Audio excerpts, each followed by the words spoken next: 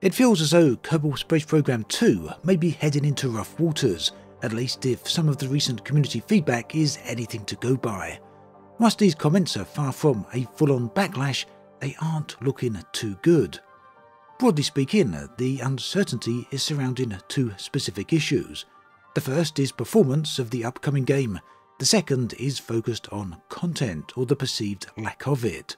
Now take a look at the KSP2 Discord server and you'll find it's running rife with concerns about performance, whilst the KSP2 subreddit also has been expressing similar thoughts, although to a much lesser extent. The first warning shot for potential performance related issues then came when a Private Division released the system requirements for the game, with an RTX 3080 being recommended to play at 1440p on high settings, these are certainly very heavy requirements. The suspicions on poor performance were then given more weight, riding on the back of some recent gameplay videos of KSP2 that came out of a preview event. YouTuber SW Dennis, for example, posted a video highlighting the game dropping to frame rates of sub 20 FPS. Meanwhile, Everyday Astronaut's video also displayed what appeared to be very poor performance in a few areas. Elsewhere, KSP and science expert Scott Manley has confirmed that the Kraken lives on. The Kraken is what the Kerbal community referred to as the original game's spaghetti code or other types of poor performance basically. That said, it also should be pointed out that not everyone at the preview event experienced these types of issues. During my own two and a half hour session, I didn't notice any significant problems related to performance. I did experience a few microstutters and hitches, but these were few and far between. Whatever problem might have been going on with the preview build then, these problems didn't appear to be consistent across the entire board, at least not everyone uh, appeared to be experiencing them.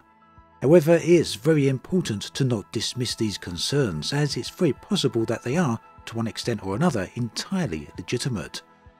Now, KSP2 is set to launch into early access on the 24th of February, so one way or another, we are going to get a much clearer picture very soon. Now, on a related note, I've seen people talking about rushing out and upgrading their computer so they can meet the minimum system specs or recommended specs. After all, let's face it, not many people are going to have an RTX 3080 or similar in their PC or just laying around. But you know, I'd say at this point upgrading a PC just for the uh, first days of an early access title and just a single title at that may be pushing things just a bit.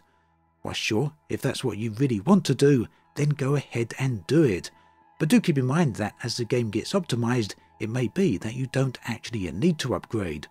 Also, uh, keep in mind that even if you do upgrade and reach the minimum specs, the recommended specs, or even way beyond, it's still entirely possible that you may still experience performance related issues. After all, those uh, preview PCs were running RTX 4080s with Ryzen 9 7900Xs, so way beyond the recommended specs, and from what we've seen on some of the videos at least, they were also having performance issues, so keep that in mind before you go out and upgrade. Now for my part, I will be taking a close look at performance and releasing a video on that on the 24th, highlighting any related issues that I find there. Ultimately then, it is still very early days and we don't really know about performance one way or another, at least not for sure. But based on the clips, I do feel it's entirely reasonable for people to have doubts about performance. And if you do happen to be a person such as that, if it is going to be an issue for you and it's something that would definitely bother you, then it would make sense to simply hold off before jumping in with KSP2. Now, do keep in mind, at any rate, that the developers have said the game will be optimized over the course of early access, so things should certainly get better in terms of performance However, at the moment we have no idea by how much that will actually occur. We also don't know yet how efficient the KSP2 codebase is. I'm sure though that this is something we will find out very soon as modders and other experts get their hands on the game. So that's performance discussed. What about people's deal with content? What's going on there? Well, it turns out that some people are questioning what they feel is a distinct lack of content with KSP2. And to be fair, it's true to say that the version of KSP2 that releases on the 24th will be far from complete. Not only are the major features of colonies, interstellar travel, and multiplayer coming much later, but so too are staples of KSP2, or uh, KSP franchise rather, such as science and progression unlocks.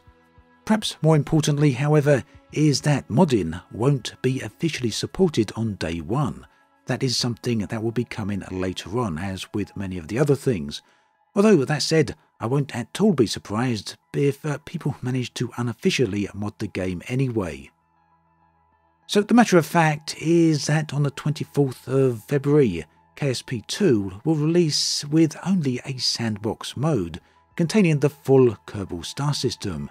In terms of parts, KSP2 does have a significant number of them, well over 300 in fact, around 350 I do believe if I counted accurately. That puts it in the same ballpark as KSP1. So yeah, there's plenty to be getting on with if you're happy to mess around with sandbox mode there's loads of moons and planets to land on, and a lot of vehicle parts and all the rest of that good stuff. So it really depends really at what you're looking for. I don't feel at this point that Private Division have hidden what's going on. They've been very much open with uh, what to expect here. They've been very clear that this is an early access game and that it will be missing a lot of content that will be added further down the line. But whether or not someone is happy about that is an entirely different matter. If you'd rather wait for the game to have more content, then it makes perfect sense to simply wait and see to some point after the 24th. Yeah, just wait until the game gets more content added. After all, there is a lot of content still to be delivered. And yes, the first release will definitely be bare, uh, bare bones. The truth is, not everyone is going to be pleased about this, regardless of how clear Private Division are on that fact. And the fact is that the initial version of KSP 2 will have far less content than KSP1. What's more, it's entirely possible going to be this way for quite a while. But that said, there is a roadmap, and eventually KSP2 uh, will be expanded and it will grow. There's a lot of stuff to come down the line. It is a process that hopefully will be an interesting one to watch and an interesting one to be involved with. The takeaway message there then is if you're the type of player that's quite happy to get involved with a bare bones game and have more content added as time goes on, a game that is entirely likely to be broken and have problems along the way, then yes, early access will be for you. But if not, then sit back, wait and see what happens. So with all that out of the way, there is one final thing I do want to touch on. I want to mention it again. I've mentioned it in the past and that is the price of $50, which KSP2 will launch at on the 24th. Personally, I feel the price is a little steep for an early access title, but everyone's opinion is going to be different on that, and that is just my opinion, and price, as with many things, is entirely subjective. So it's something you're certainly going to have to make your own mind up on. One other point here is that I do believe Private Division have confirmed that when the game releases into its final version, or version 1.0 at least, the price will likely be increasing, so there is that. At any rate, that's just my thoughts on uh, general performance issues or potential performance issues and content related subjects. Meanwhile, if you'd like some deeper thoughts on the overall uh, game itself, then do check out the video linked on the screen right here.